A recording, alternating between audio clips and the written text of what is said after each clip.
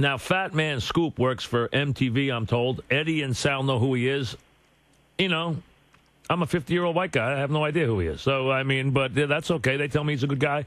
He joins us now. Fatman Scoop, welcome to the program. Hey, Mike, how you doing? I Good. mean, I wouldn't expect you to know. I don't. I wouldn't- apologize. So, but I gotta be. but- I'm not gonna lie and say I do. I don't know who you are, but you. Right. The Eddie and Sal tell me you're a good guy, so that's good enough for me. Mike, I know, I know all the young guys over there because I call at night from from time to time. They Right. know me.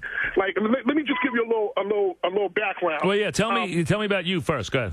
basically, basically, I worked at Hot 97 for for 15 years. Okay. So you know, I, I I was at the biggest station in hip hop music for 15 years. Okay. Number one. Okay. I left there to do my show on MTV, which is called Man and Wife. It's on the air now. Okay. It's a sexual relationship show with me and my wife Shonda. So Okay. you know, I'm doing that. I've won I've won two Grammy awards. One with Missy Elliott for a song I did with her. One for Mariah Carey. Both rap songs. Oh, great. Okay. Uh, yeah, so I mean, and you know what I do for a living is I'm in the club. Like I'm the guy that when you're dancing and you hear him go hands up, nigga, get your hands up and all Right. that stuff. That's me. Okay. So that, they need no introduction. Now, explain. Explain to me why.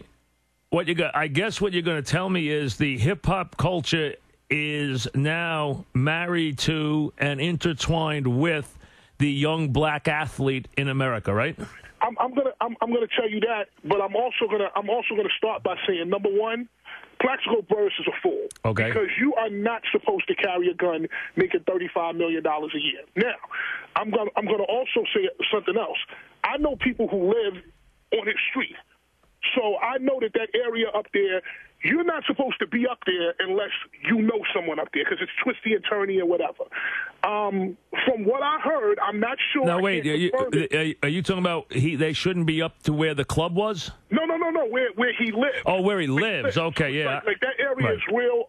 You know, you you have those are million plus. Right, houses. yeah, right. He lives in a real nice neighborhood, right? Oh, yeah. he lives in like like Yeah. I drive past. No, I know where he lives. No, I know Yeah, where he when I- lives. Yeah. When I go see my people, my friend, I you know I drive by Right, him all the time. right. But from what I heard, I can't confirm that. It's just the streets talking, quote unquote, that somebody robbed him outside of his house. I don't know if that's true or not. Right. Now- I, I don't know if that's true or not Right. either. Okay. Right.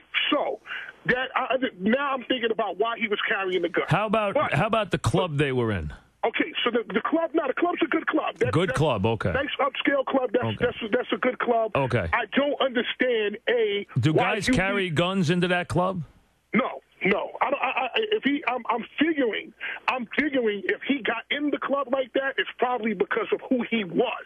So they do they want the guys when they come in that club? Do they have Of a course, of, yeah, yeah, of Oh, course. they do? Okay, You- okay. Like in New York City, after Mayor Giuliani really kind of when the, the Giuliani administration, they started cracking down on all that type of stuff. You can't, you can't operate a club in New York and just be, you know, uh, reckless with it. So you, put a know, security guard on the door, and he warns guys to make sure that they don't they're not carrying, right? Not, not Okay. only are you probably going to get a strong wand, you're definitely going to get a strong pat. You're Okay. going to get a strong pat, like a vigorous Okay. pat down. Okay.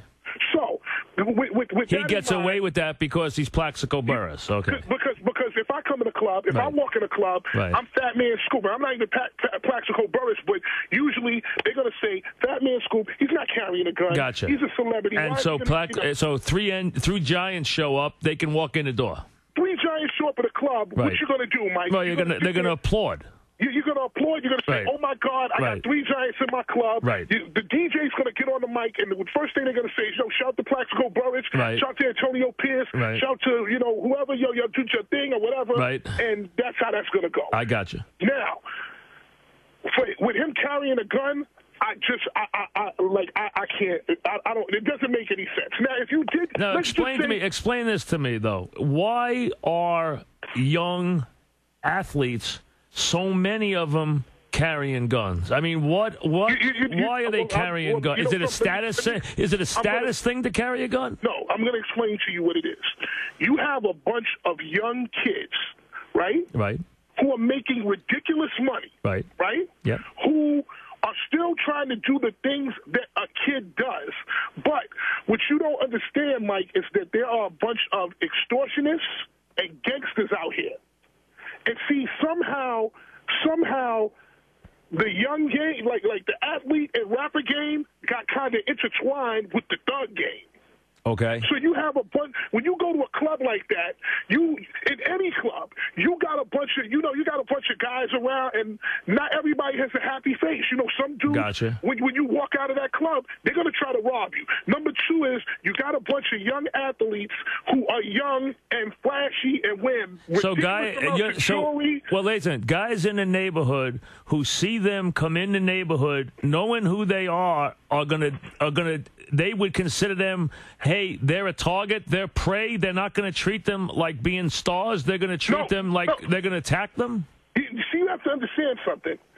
Out here, there's people who have it, and there are people who don't have it. Okay. And you know something? If you're out here and you're a thug and you're starving, you don't care who it is.